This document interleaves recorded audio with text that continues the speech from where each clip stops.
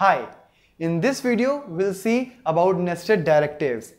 As in the previous video we have seen the implementation of the nested styles or nested rules where we have gone through the nested code. Here the syntactically it will be same but we will be using the directives rather than our own rules. So what I'm going to do here, we'll be using a directive from the CSS that is the media directive and using that directive we'll see how to write the nested code in less. So let's start the practical implementation now. So here in the context of nested directives what I have done exactly is I have created a class named my class and inside this I use this directive media. So as you may know like media is the directive in CSS in which you have the different options for the printing and the screen. So here by default I have given the screen color as blue.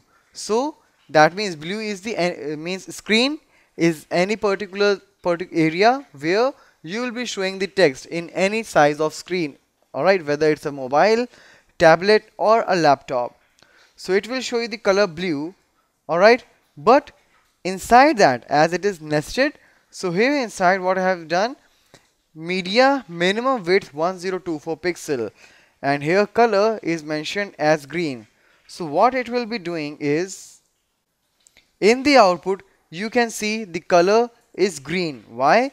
Because by the time the minimum width is more than 1024 it will show you the green color. Alright as here you can see this particular font is coming in green. If I'll start decreasing the width you can see now at this particular point it turned to blue. Because at this particular time for sure it is coming less than 1084 to check you can come to the developer tool and here it will show you the width. Like when you will start decreasing as soon as it is greater than 1024 it will show you the green color alright and now you can see I'm coming very much closer to that. So now it is 1025 alright it's green. And if I will get 1023 it is blue. 1025 1024 it is green.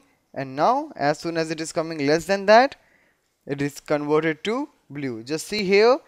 Alright when I'm changing the size it, it will be showing the width. Alright it's 1024 alright and as soon as it's coming 1024 it's turned to green. And as soon as I'll come less it will be turning to blue.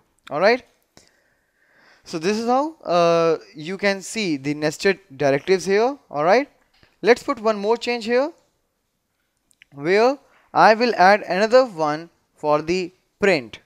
So that if you will take the print of this particular page the same content will be coming to the red color so let's re-execute this. We have already seen it for the big screen size and the small screen sizes. Alright I'm pressing Ctrl plus P. And now here you can see in the print preview the same text is coming to the red color. Why? Because in the media print I have specified the color as red Generally, you do the padding margins when you change the screen size, but here for the simple implementation, I shown you the color changing like blue to green to red. Alright. So this is how you can start working with the nested directives in your less implementation.